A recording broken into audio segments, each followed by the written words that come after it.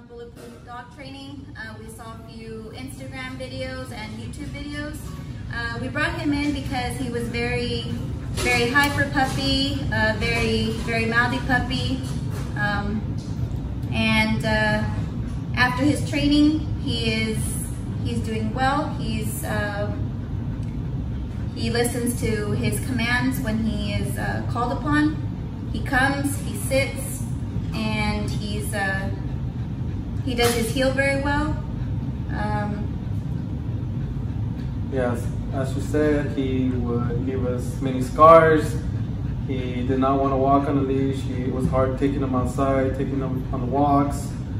Now he heels off leash. We're able to pet him, love him, and we're excited to see where we can go from there.